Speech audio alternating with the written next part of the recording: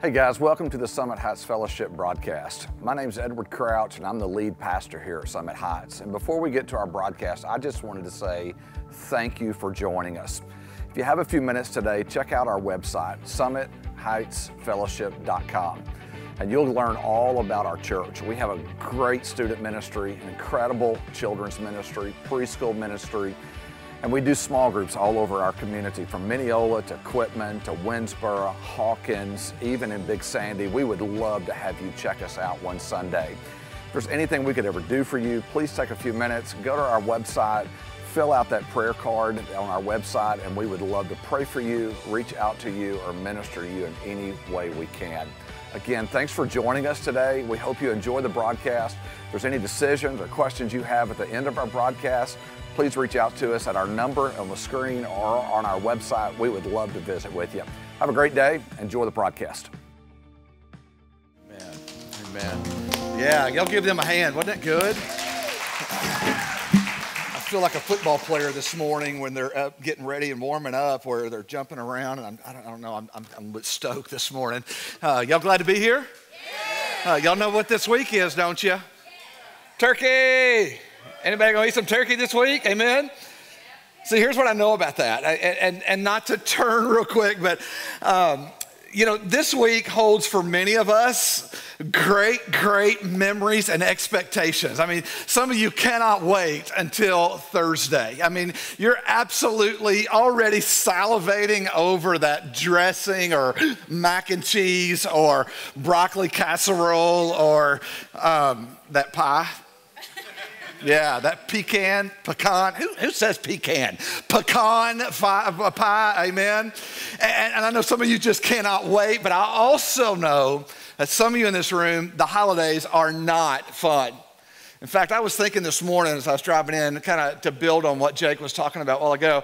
I am so grateful that so many years ago we had one of our staff members come to us and uh, she asked about grief share and she asked about our grief that goes on in our church. So many people lose people, and uh, that how do we minister to them? And so Sherry Sims, who was one of our staff members for many years, has since retired, started this thing that now Jenny Holdeman uh, continues to do. And we send out literally hundreds of books every year on grief because we know that there are people that uh, are trying to deal with grief and trying to get through. And so uh, I, I want to say to you, if you're in this room this morning and this is your first year alone with loss, uh, that we love you and we're so glad you're here and uh, we want to minister to you and if you don't get those books would you please, please, please allow us an opportunity to send those to you? It doesn't cost anything.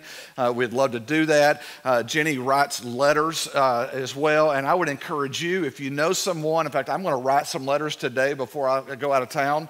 Uh, I'm going to write some letters today to some folks that I've been thinking about all week this week, praying for that I'm going to drop in the mail before I leave because I, I want them to know that hey, they matter because you know times are uncertain, and if I've ever learned anything, the older I get, the more I realize that we do live in a world of uncertainty. I said last week, there's a one in one chance that we're all going to die if the Lord tarries. Now, if God comes back, amen, we all going to jump, all right? And we're all going to get out of here. But the reality is, unless He does not come back, uh, Jim, does, am I covering all this well? Uh, okay.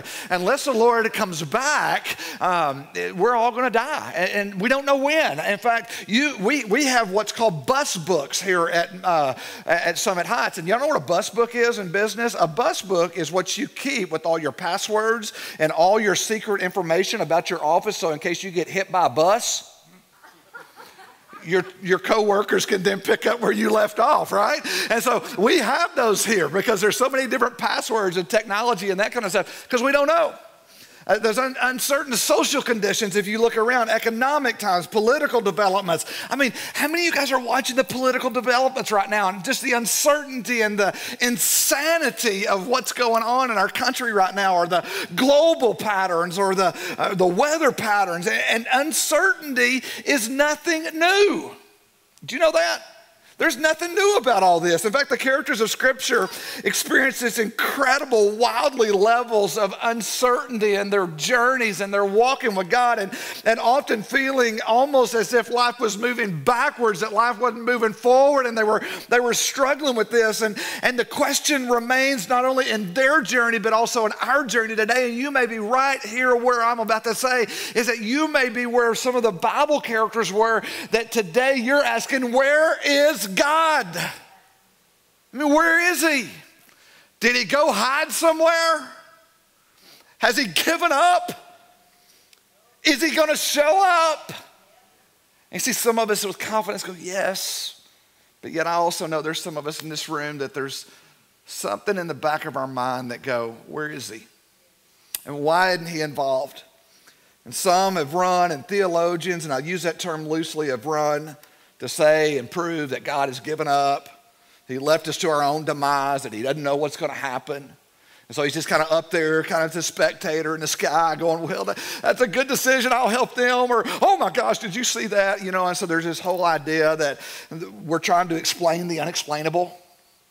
And this whole relationship between God's foreknowledge and his presence, trying to put that together with men's free will unlimited view. And so, for years, men have been trying to simply explain away in their finite minds of what is really the unexplainable and those extreme forms that kind of fall at the very least. Some say we're just a bunch of pre programmed robots. We don't have a choice, all the way to the other end of, of people saying, well, God gave up and he doesn't know what's going to happen. Problem is, when we try to codify or systematize the unexplainable, it falls short, or at the very least, rejects God's omniscience and omnipresence and his sovereignty. You see, we believe, and I would challenge you on this, we believe that to understand God, it comes through faith. Without faith, the scripture says it's impossible to please God. There is a faith aspect of this. And people get all freaked out when we talk about a faith aspect, and yet every one of you sat in a chair this morning by faith, trusting that it would hold you, and you never thought about it. You got in your car this morning, most of us, because some of you drive hoopties and others of you drive new cars, right? And most of you got in the car this morning, turned the key, and never thought about it not starting. See, I have a car every once in a while, when I crank it, it, it where I'm not sure it's going to start, amen? You see, He's ever present. He never leaves us, He never forsakes us. And those are His words. And so, by faith and my limited knowledge, I trust Him. So, today I want to look at a name that talks about the presence of God. Where is God? And is God even present? Is God even in control? Is God even around? And we find it in Ezekiel chapter 48. And we're, we're not going to go there this morning because if you know anything about the end of Ezekiel, it's, it's complicated, okay? I'm just going to say that from a preacher standpoint because if it's complicated for a preacher standpoint, then I'm not about to wade in to a whole lot of what's going on at the end of Ezekiel because it's the end times. And it's when God is reestablishing the city of Israel and, and, and the final city. And He's given all these parameters, He's given all these things. And, and we could wade into the second coming and we could wade into all of the different aspects of Jesus coming back and what the second coming and the millennial and post and pre and mid and pan and all that. And we could figure all that out. But here's what we know about it. At the end of Ezekiel chapter 48, it says that in that city, that God is there. He's ever present. He's ever present. That He's there. So here's the big question that I, I began to think about this last week. Do we have to wait until we get to the new city to experience God all the time? Do we have to wait until we die to experience God? Because that's what some tell us. Maybe that's where you are this morning, and that's okay. I'm so glad you're here if you believe that, because I don't want you to run out of here because Summit Heights has always been a safe place for you to investigate the claims of Christ, to keep coming back and being loved on. Is there a way to have God's presence, to experience His presence? Does He, does he even promise His presence today? And so I was reading in Matthew chapter 26 this last week. In fact, if you have your Bibles or your apps, you can turn over there. We're going to look at a few verses, and then we're going to read the very last verse, a few verses of Matthew, the book. And Jesus is coming to the home stretch of his ministry. He's, he's been doing ministry for three years and he's having his last supper. In fact, every year when it came to the Passover meal, he and his disciples would gather together and they would, they would have the last supper. But this year's different.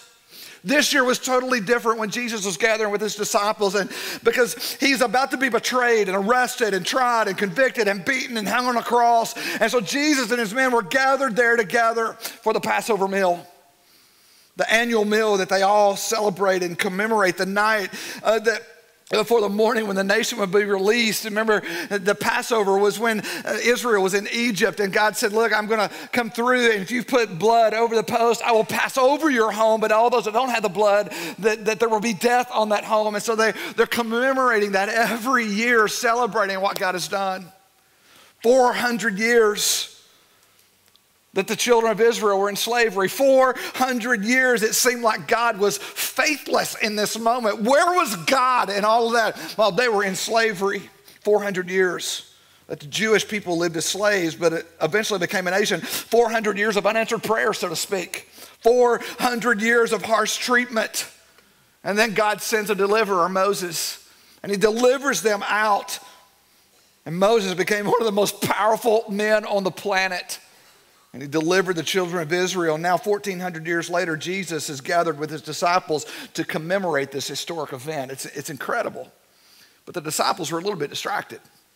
See, sometimes we read that and we see that, that beautiful painting that's, that we see, and they're all reclined and they're all just, they're oogling at each other and they're looking at that, and we have this peaceful moment. But I, I, I have to believe that things weren't really going that well when you look at the Gospels and you look at what Jesus was doing, to, because their popularity had kind of diminished. In fact, they began to notice that when Jesus would enter Jerusalem, he never entered during the day, he always entered at evening, at night, when no one could see because his popularity had gotten even to the point that there was a whole lot of secrecy about what was going on. In fact, there was a whole lot of secrecy that night that they didn't even know where they were going to meet. Jesus sent them into town and said, Go to this man, he'll have a room, ask for it, and go prepare. They didn't even know where they were going because the, all that was going around, around Jesus was unrest. In, fact, the disciples knew there was a movement to have Jesus arrested. They had heard about it, and, and, and Jesus kept even talking about his death. I mean, how fun is that to be around people that always talk I'm going to die. You're going to miss me when I'm gone. We say that to our kids all the time, amen? You're going to miss me when I'm gone. You have to do your own laundry, amen? and then Judas, then you had Judas. Y'all remember that dude? You know he had to be acting strange. They gathered for the meal. He's already sold Jesus out. You see, these guys have grown accustomed. These guys have grown accustomed to being the man. They had grown accustomed to their popularity. And, and what they thought was the last word in Ezekiel, and all of a sudden, 1,400 years later, Jesus comes onto the scene and, and God begins to move, and, and now things are completely unrest. And Jesus comes on the scene, that long awaited Messiah, and things begin to change. And the disciples saw the miracles and the healings, and they saw all these things that would happen, and these crowds.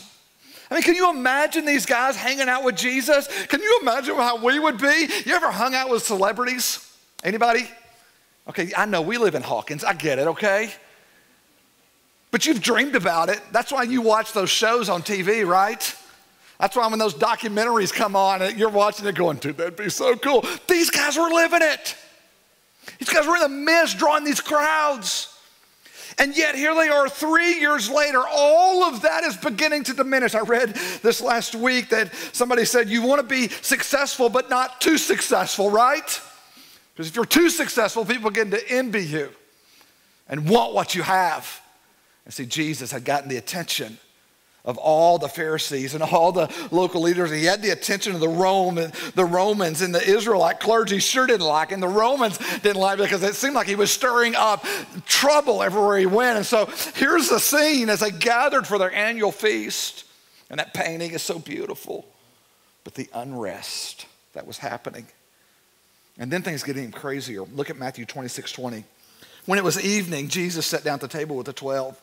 And while they were eating, he said, I'll tell you the truth. One of you will betray me. How's that for the meal starter? Go ahead and start Thanksgiving out that way this week. Amen? I know who you are. I mean, just sit down at the table and start pointing fingers at your family. See how well that goes, right? That's what you, that's what you, sometimes we miss what the scripture says, don't we? But Jesus just starts off going, I know who's, I, I know who's going to do it. And since he was rarely wrong, this didn't come as good news. I mean, there was nobody going, like Jesus, come on, Jesus, what are you, about? who? Because they knew, because in their mind they were going, is it me? Is it me? They were just really hoping it wasn't them, and, and they're really hoping it really wasn't going to happen. I mean, it was as if Jesus had given up.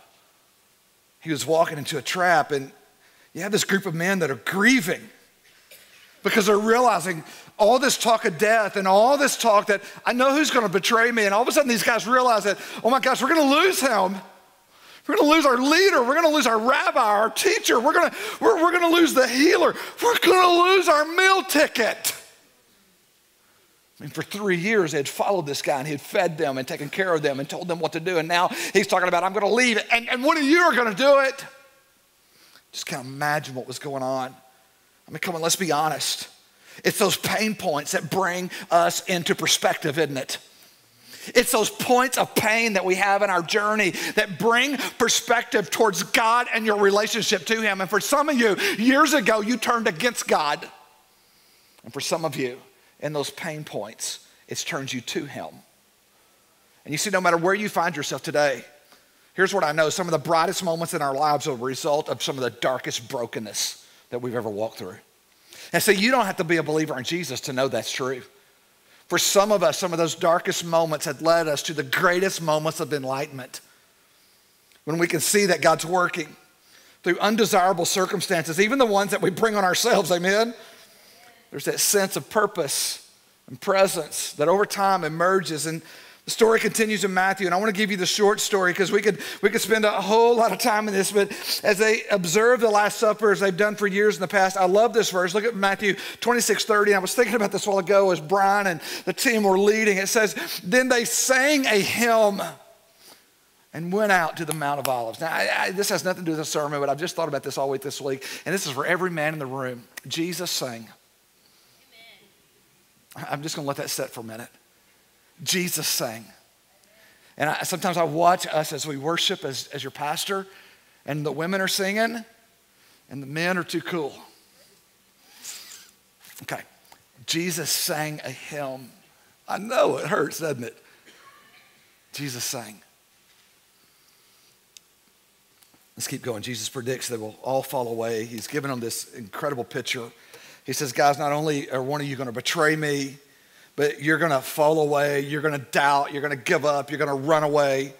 You're going to forget almost everything you've ever been taught. Then Peter jumps in and goes, No, no, no, not me. I'll never do it. And Jesus goes, No, you'll be the one that not only does it once, you'll do it three times before the rooster crows. So they then return and retire to the Garden of Gethsemane to pray shortly after that moment of worship there in the Garden of Gethsemane, of them singing that hymn. Jesus is betrayed, he's arrested, he's taken off to be tried. Peter, sure enough, betrayed Jesus not once, not twice, but three times. That little teenage girl around that fire. Judas goes out and hangs himself in complete, total despair. Jesus is tried before Pilate, mocked, then crucified after his death. And this guy named Joseph of Arimathea, I mean, where did he come from? Comes and grabs Jesus' body and takes him to a borrowed tomb. I don't need it long, just a few days. Amen. I mean, how many of you go to the cemetery today? I just need one for three days. I mean, that's Joseph of Arimathea. We don't need it long. We're just going to put him in here. He's coming back. Amen. I just, I love that. And three days later, he raises from the grave, appears to his disciples. 500 other people saw him in the flesh. And then that brings us to Matthew chapter 28. 16 to 20. It's the last scene before Jesus ascends to heaven. Look at it. It says, Then the 11, not 12, remember Judas has done now gone on and done what he did. Then the 11 disciples left for Galilee, going to the mountain where Jesus had told them to go. And when they saw him, they worshiped him. But some of them doubted. So Jesus came and told his disciples, I've been given all authority in heaven and earth. Therefore, go and make disciples of all the nations, baptizing them in the name of the Father, the Son, and the Holy Spirit. It's what we call a great commission. But that's not where we are today. He says, Teach these new disciples to obey all the commands I've given you. And then here's where we are. Because here's where Jesus comes in, and here's where we see the Jehovah Shammah. We see that in Ezekiel, where God's talking about his presence. Well, now God's come and lived among us, and now he's ascending to heaven, and now he's looking at his disciples. He said, And be sure of this, boys. You ready for this? You ready? I am with you sometimes. Did I miss that? I'm with you always. How long? Even to the end of the age. So here's what that means for us today. You ready for this? We've not made it to the end of the age. I know. See, when you look at the Gospel of Matthew, in Matthew chapter 1, verse 23, it says, Behold, Emmanuel. You remember that? Behold, Emmanuel. You know what Emmanuel means? God with us. We're going to celebrate that all next month. God with us. So Matthew starts with God with us, and he ends with, by the way, I'm not going anywhere. Amen. Come on. Think about the book in there. Do you know there's only three occurrences of Emmanuel in Scripture in Isaiah two times and then now in Matthew? And it talks about the, the presence of God. That that name Emmanuel talks about the nearness of God, that Christ's birth brought that in, in infinite, holy God with re, within reach of the, of the finite, that you and I could actually connect with God. that God came alive to us so we can live with Him. That He's our Emmanuel. He's our God with us at every stage of our spiritual life, at every moment, that He's promised never to desert us or forsake us. And listen to this I'm not going to wade into this very far, but when you look at the Greek of the Emmanuel, when it's mentioned, it is a five negatives emphasizing over and over again the impossibility of God being able to forsake us. I'm not going to wade into that this morning because some of you already just went to sleep. Amen? Because anytime you mention Greek, uh, we, we miss it. But I want you to see that. The phrase, I will be with you, occurs nine times in the Old Testament. In the New Testament, we find where Jesus is over and over again saying, Fear not. I, I, read all those Facebook, Twitter, and those memes that, that, that fear not is 365 times in the scripture. That's debatable, okay? Don't believe everything you read on the internet. But we do find he says, Fear not a lot. then the writer of Hebrews in Hebrews chapter 13, look at this. He says, Don't love money, be satisfied with what you have. For God has said, I'll never leave you and I'll never abandon you, quoting Deuteronomy. I'll never leave you or abandon you. And then he says, So this is why we can say with confidence. The reason we can be confident is because God says, I'll never leave you nor forsake you.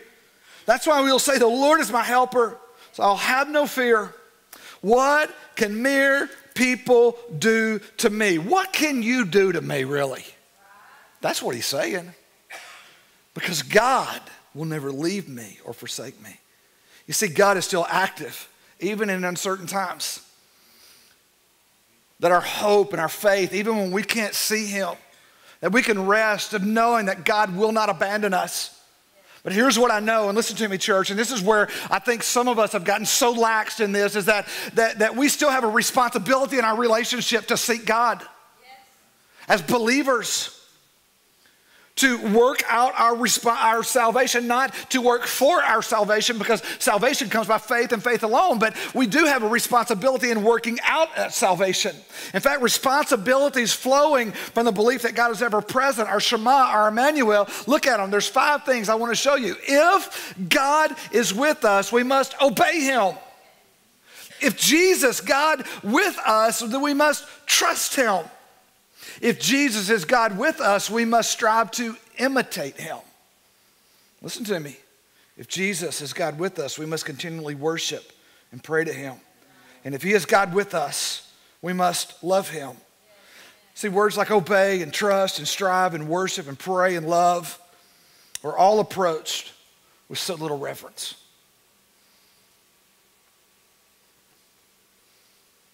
There's so little reverence around those words today in the church. And I'm not just saying here, I'm just saying the church in general, especially in Western world America, in first world countries. See, I, we've all heard those stories in the Old Testament. We talked about Gideon last week where God whittled down his army and went before them and destroyed all of them. We heard about Daniel's in the lion den. I've, I've read that several times and I've even heard on the radio of guys preaching of Daniel in the lion's den and reading in my books that I'm reading right now about there were three and then there were four, and oh, Nebuchadnezzar just gets really ticked off and heats it up seven times hotter. What does that even mean, seven times hotter, right? And so he throw them in, and then there's three, and now there's four. And we read those stories, and we've heard those stories, and I know some of you are sitting there going, why? Doesn't God do that? If God did that for me, and I would never doubt. I can remember 22 years ago now, I was arrested by the FBI. I'll never forget it. But before I was arrested, I was called into the DA's office. And I'll never forget when the DA stood in front of me and I had the FBI agent sitting over there beside me. He said these words to me. He said, Edward, welcome to the dance. In other words, here's what he was saying I'm going to prosecute you. Welcome to the dance because we're about to dance, son. And here's what he said to me. I'll never forget it. He said, Let's see if your God will rescue you from this. And I'll never forget there was no fiery furnace. And by the way, there was no Shekinah glory of an angel of God that struck him dead. Now, that would have been my idea. Amen? right? If you're watching, I love you, brother. I don't know where you are today. But anyway, I've never seen this cat again. Amen? Nothing. But here's what happened in that moment I pushed away from the table at that DA's office. And I just simply said this whether my God rescues me or not, it doesn't change who I am. No fiery furnace, no lapping water like a dog, no fire from heaven, just a moment. Just a moment. People ask me every day, Edward, you've You've been arrested, you've been divorced, you've been fired three times, you've been run out of town, you've got newspaper clippings of you. By the way, if you're visiting the summit, welcome. I'm the pastor, amen? you think you're jacked up, amen? I don't tell this story very often, but here's where people ask me all the time why didn't you give up? Because there was something in me that I didn't want to shipwreck my faith. There was something in me that I knew God was bigger than anything. And by the way, look at my life 22 years later as God has begun to restore the years the locusts have destroyed. Amen? He's restoring those years. And if I'd have quit 22 years ago and gave up on God because my first wife did this, or, or the FBI did that, or, or I did this, or I messed this up, I'm gonna tell you I would miss what God is doing today, His presence of who He is today. Amen? And see, some of you gave up, man. You bought the lie of the culture. That God doesn't love you, and God screwed up in making you and you walked away and you abandoned and shipwrecked your faith. So listen to that song this morning. I raise a hallelujah in the presence of my enemies. That I raise a hallelujah louder than the unbelief. That I raise a hallelujah that no weapon, that my weapon is a melody. I raise a hallelujah because heaven comes to fight for me. I'm going to sing in the middle of the storm. Jesus and his disciples sang a hymn in the middle of the storm. I'm going to sing in the middle of the storm louder and louder. You're going to hear my praises roar up from the ashes. Hope will arise. I know about that because I've been in the middle of the ashes. I've been in the middle. Death is defeated. Amen. The king is alive. Hmm. How different Listen to me, how different the path of Christianity today and what we call maturity and how cavalier we are as we approach God. You see those words obey and trust and strive and worship and pray and love and death. Listen to me, church. Jesus said that anyone who comes after me must die. I want to do what I want to do, Edward. No, Jesus said you must die. You must crucify the flesh. No, we don't like that. We would much rather have a preacher tell us, you can do what you want to. God loves you. God does love you. But listen, if you're a follower of Jesus, you must die. There's so little trembling, so little vigilance.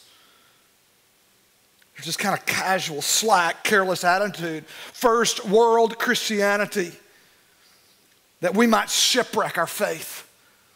Some of us don't even think about it. Some of us don't even think about it until someone like me stands on the stage, or maybe you stop on TV long enough to hear a preacher say, ah, but then we move on because it's all good, right? And so we've just kind of mechanicalized this automation that we take for granted that we live in America. We're prospering. We have money, a house, cars, resources. You were able to turn your heat on last night. And we never think about that the decisions we make could shipwreck our faith. We prayed to receive Jesus, so we're safe. We never think about working out our salvation, and yet Paul says this in Philippians 2:12. I want to show you again. Therefore, my dear friends, as you've always obeyed, not only in my presence, but now much more in my absence. Look what he says. Continue to work out. Everybody say work out. Anybody like working out? A few of us, right? Okay. Most of us don't, do we? He says, work out your salvation with fear and trembling. Second Chronicles 15 says, The Lord, if you seek him, he will be found by you. But if you forsake him, he will forsake you. And we don't like that, do we? We don't like that. Because you see, in the new covenant, it's true that God will never forsake his children.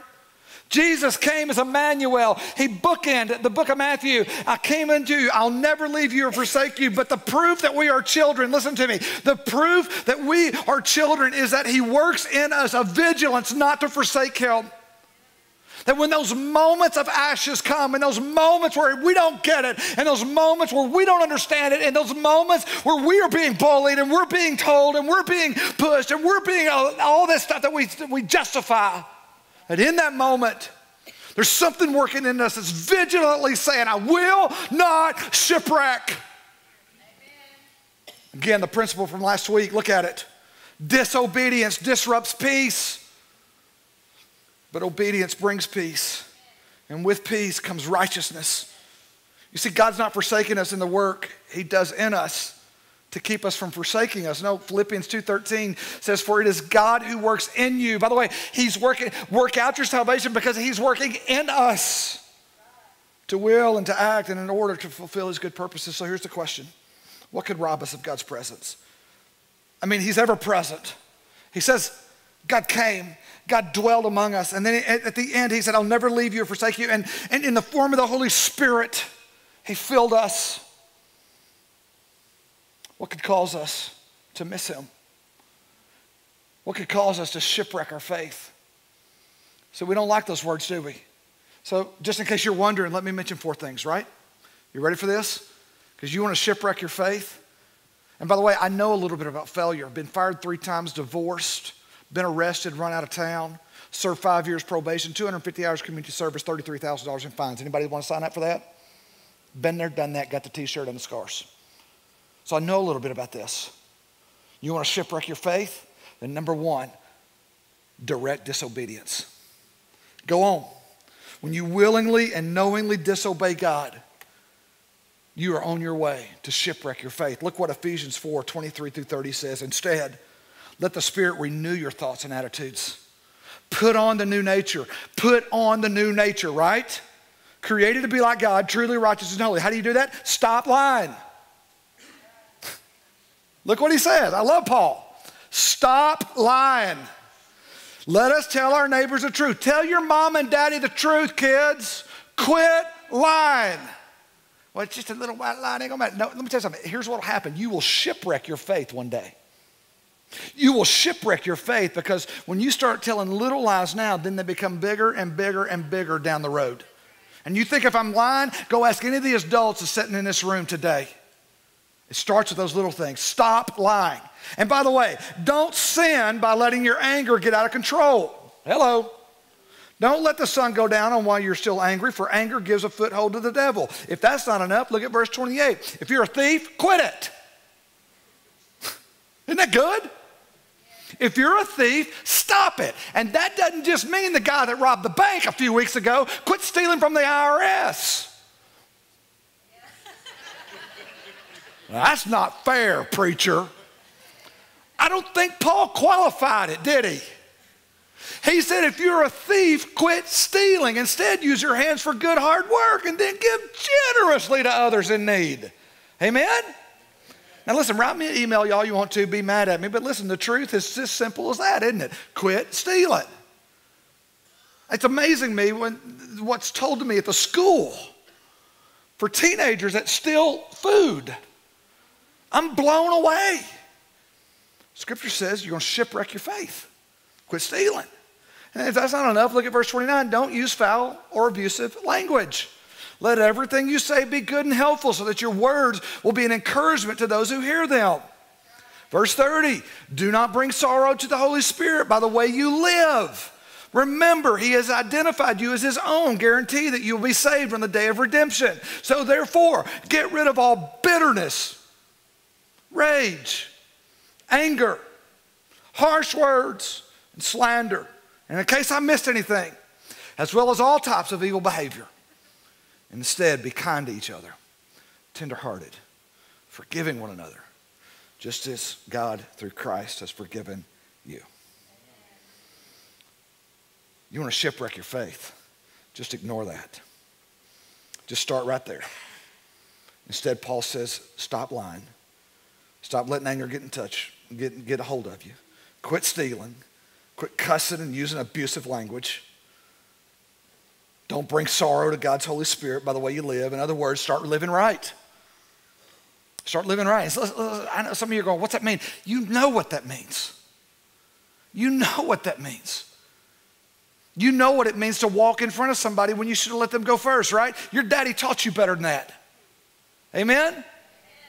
You know what it means to step over a piece of trash instead of picking it up and taking care of the earth that God gave us. Come on. It does, we're not doing brain surgery here, amen? Some of us make this so complicated. See, when you grieve the Holy Spirit, you quench the Spirit. And the Holy Spirit was given to us, just like the, the Spirit of God was given to the Israelites when they were going through the desert. He was a pillar of fire eh, by night and a cloud by day that, that to guide them, that God has put His Holy Spirit in us. You want to grieve that, be disobedient. Here's the second thing have divided devotion. Divided devotion. It's an idol. An idol is anything we love more, fear more, serve more, or trust more than God. In the Old Testament, they struggled with the idols because that was their culture. They would build gold and carve wood and all that. And I know we're way more sophisticated than that. So let me throw up some questions about this. Is there anyone or anything that takes precedence over God in our lives? How about social media? How about your job? How about your kids? How about youth sports?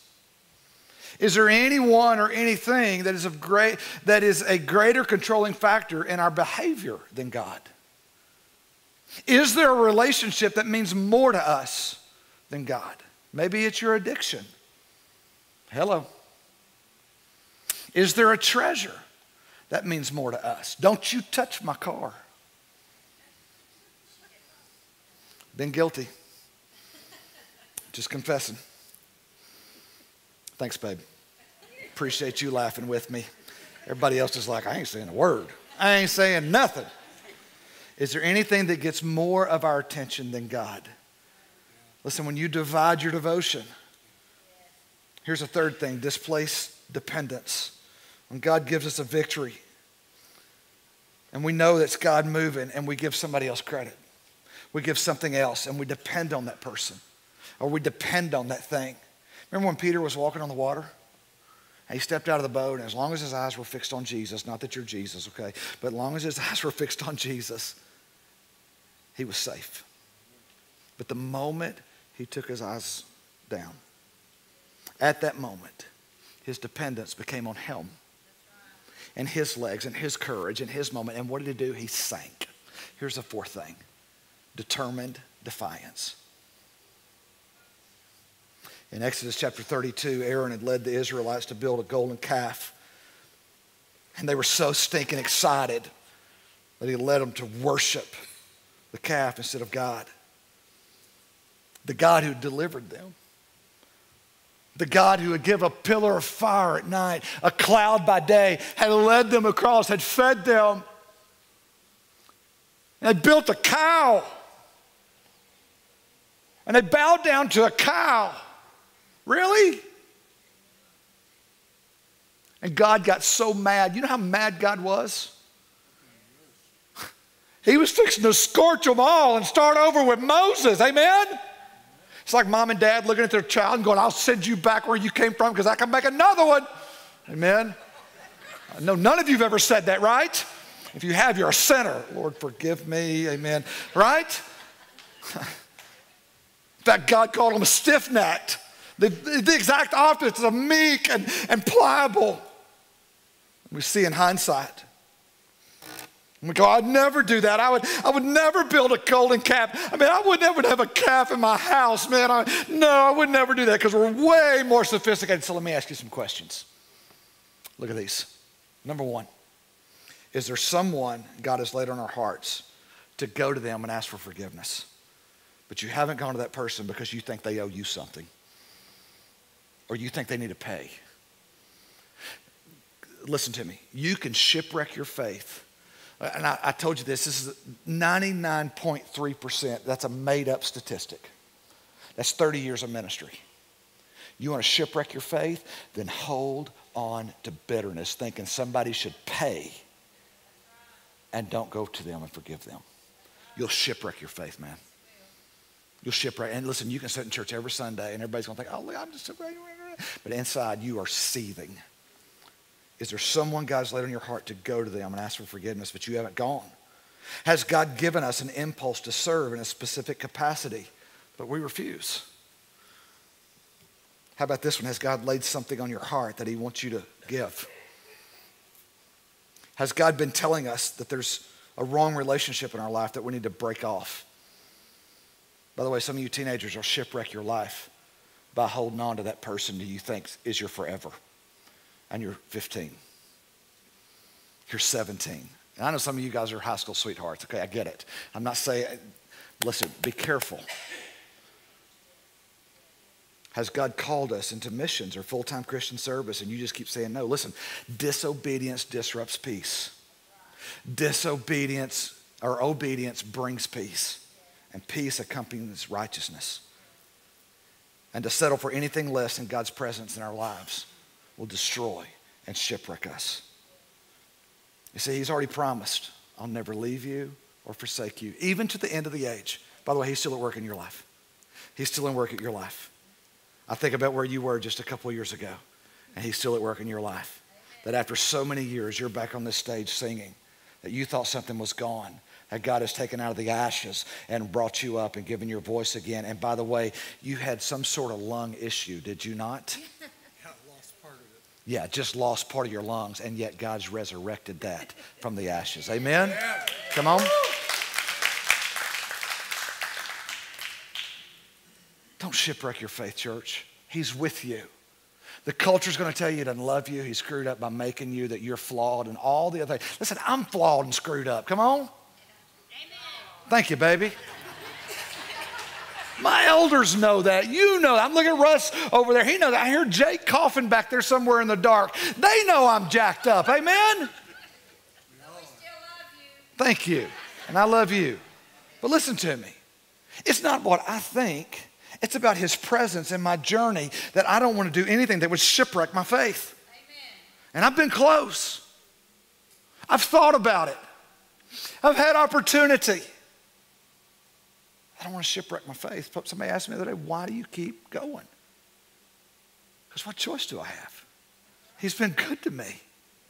And I don't want to do anything that's going to destroy that. I love Psalms 139, 7 through 12, and I'll close with this. The psalmist David says, Where can I go from your spirit? Where can I flee from your presence? If I go to the heavens, you're there. If I make my bed in the depths, you're there. If I rise on the wings of the dawn, if I settle on the far side of the sea, even if your hand, even there, your hand guides me and your right hand will hold me fast. If I say, Surely the darkness will hide me and the light become night around me, even the darkness will not be dark to you. The night will shine like the day, for darkness is as light to you. So, how do we experience His presence? How do we move in that? Realize this that He hasn't gone anywhere. And by the way, He even loves you as you are in all your jacked up mess. He loves you. But listen to me. There is a way that seems right to a man, but the end thereof is what? Be careful. Be careful and make sure that your culture of your mind. Remember, repentance means metanoia, means to change your mind and think like God, not the culture. Not what somebody on the internet says, not what some big name guy with a bunch of letters behind his name. By the way, some of those people are the dumbest people I know. Can I just say that? I'm not against education, but sometimes I wonder with the more letters you have behind your name of where your brains go. Amen?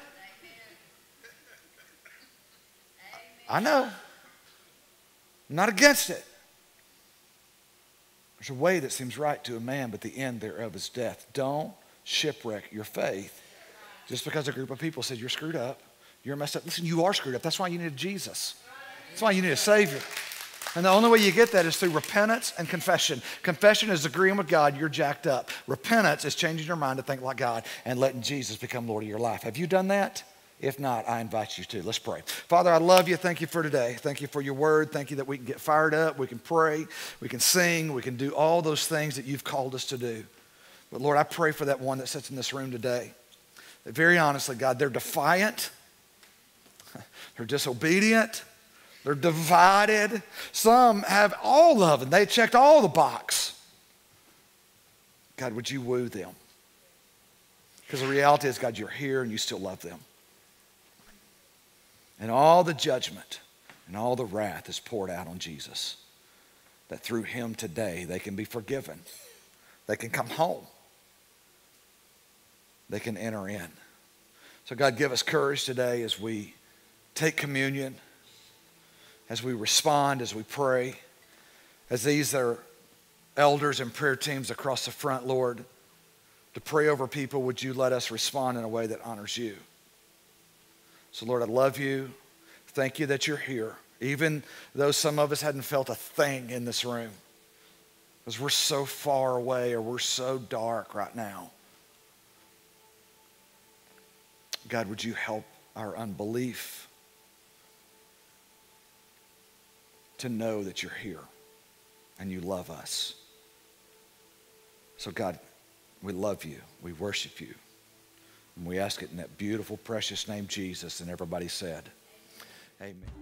Hey guys, welcome back. We hope you enjoyed the broadcast today. And if there's any decision you felt like God is leading you to make today, we would encourage you to uh, make that decision and to go online. There's a prayer tab on our website that you can go to.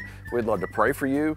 We would also love for you, if you accepted Christ today, to send us a text. We have a number at the bottom of the screen that you can text us the word accept if you accepted Christ, or if you would like to know more about baptism, just shoot us a text with the word baptize to that number on the screen and we'll get to you. I promise you. Hey, have a great day. And listen, if you're looking for a great church and you don't have a church home, come visit us one Sunday. We have two services, one 9, one at 11. We'd love to see you. Have a great week.